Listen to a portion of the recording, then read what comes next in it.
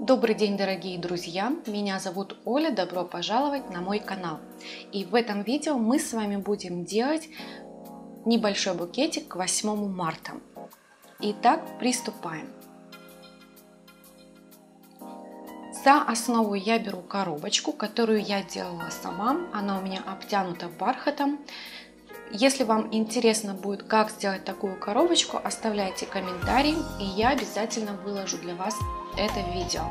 Но вы же можете брать любое другое кашпо, которое у вас есть или которое вам нравится. Совсем недавно я показывала, как сделать такие розочки. Розочки у меня без конфет. Ну а вы, если любите такие цветы делать с конфетками, то делайте с конфетками.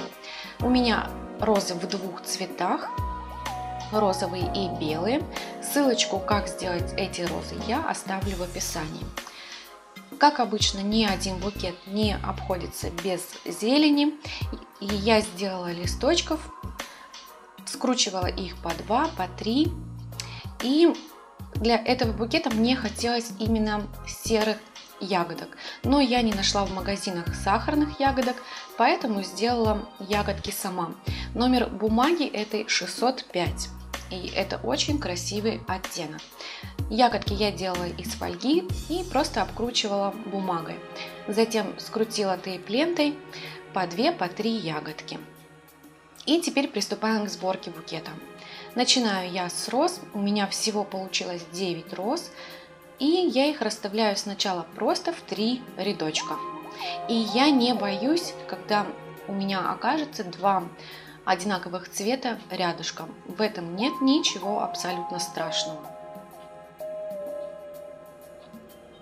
Расставляю сначала просто в три ряда и по ходу работы я потом сформирую уже в круглый букетик. Вот так вот сначала все это выглядит. И теперь приступаю к зелени. Те листочки, которые я скручивала по 3, я их расставляю по углам.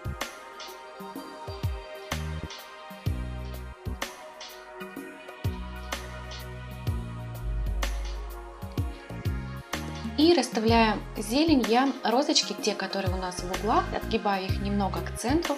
И таким образом у нас уже формируется круглый букет.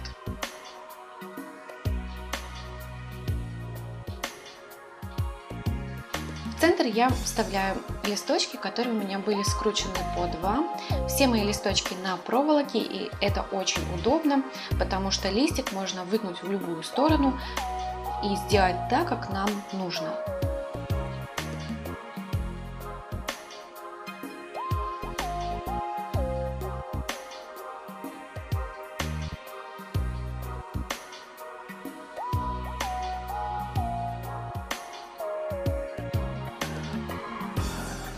И теперь приступаю к ягодкам. Ягодками я как бы прячу все пустые места, свободное пространство, но как бы не прятать, как бы не старался, в любом случае где-то что-то останется. Но это и не очень страшно, ведь и в живой флористике бывают простые пустые места. И посмотрите, по мере добавления ягодок, как сразу оттеняется букет и как он очень нежно и красиво смотрится, даже несмотря, что ягодки серого цвета.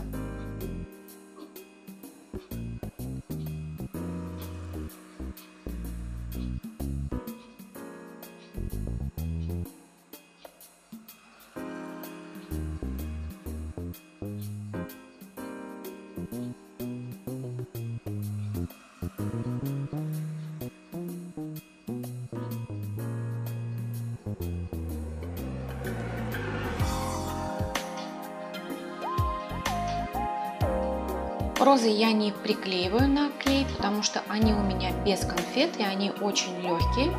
Если же вы делаете с конфетами, то букет будет у вас тяжелый. Обязательно приклеивайте на горячий клей, иначе у вас может просто все повыпадать.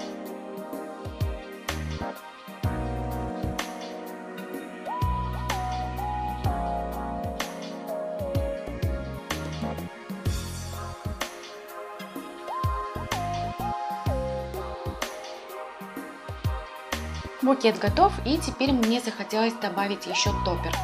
В магазине я купила топер 8 марта только желтого цвета и я хочу его покрасить в тон своей, своего букета.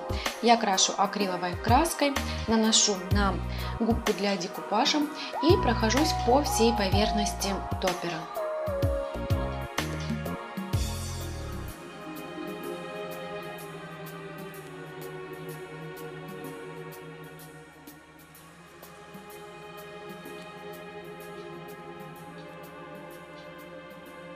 Окрасила всю поверхность, теперь крашу все грани, прохожусь кисточкой для удобства, так, чтобы у нас не осталось неокрашенных мест.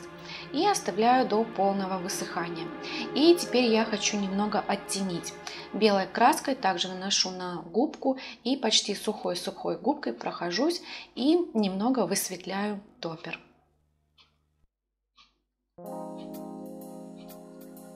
Как правило, очень длинные продаются шпажки для топеров. Я разламываю пополам и обязательно буду приклеивать шпажку, потому что не очень хорошо она держится.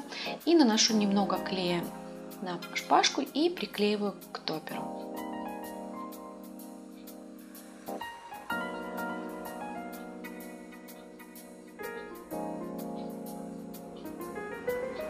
Затем вставляю в букет и на этом готово. Единственное, что все-таки длинновато казалась шпажка, я в итоге потом ее немного укоротила. Вставляю, можно вставить как в центре, так сбоку, как захотите. На этом мое видео готово.